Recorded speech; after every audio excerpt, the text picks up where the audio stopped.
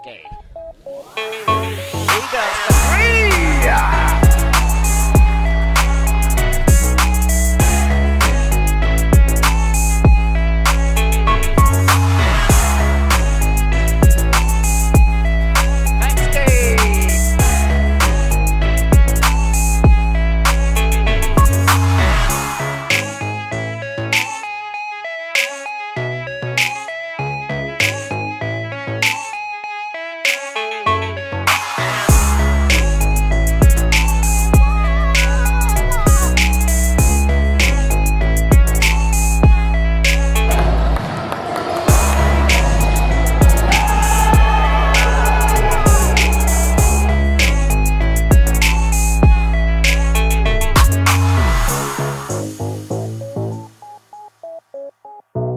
Let's get to it.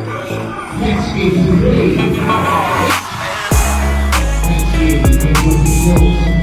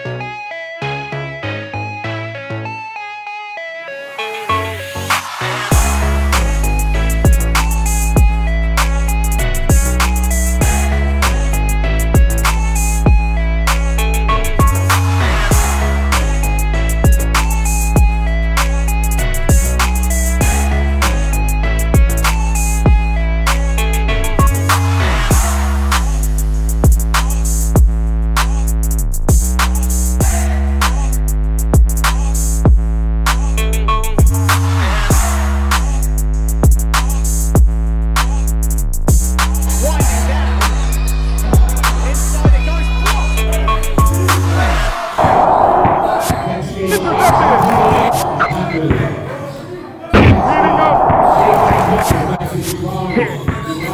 go.